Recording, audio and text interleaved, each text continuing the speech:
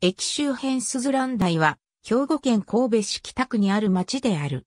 現在は、北区の行政、交通の中心部でもあり、また、繁華街でもある。1928年、山田村では、神戸電鉄の早々期に経営安定のための乗客増加策の一環として、関西の軽井沢のキャッチフレーズで分譲が開始された。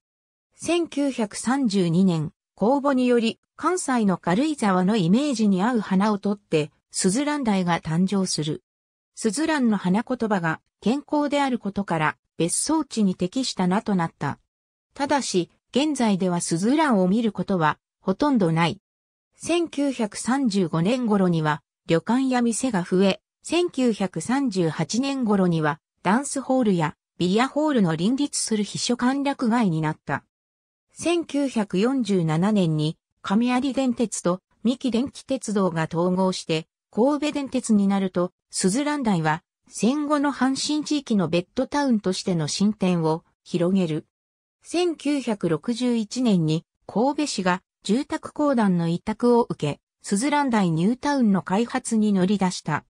1968年に神戸電鉄港川駅から始発が新海地駅に乗り入れ、1970年頃にはかつての避暑地がニュータウンになった。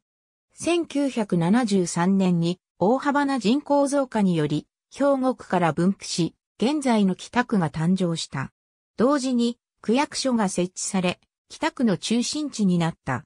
それに伴い道路も設置された。1974年には、日踊り IC が開業し、1981年には国道428号が指定交付され、1990年には、アイナ出入り口が開業した。078から 58X、XXXX078 から 59X、